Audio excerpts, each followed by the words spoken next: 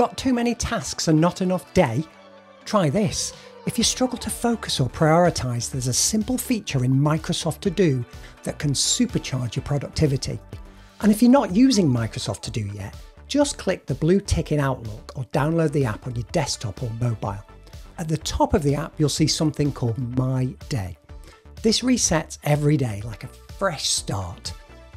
Then just choose the three most important tasks you want or need to complete today and add them to My Day.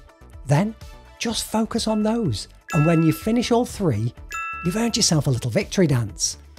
If you've then got the capacity, you can always grab a few more tasks from your long list and drop them into My Day.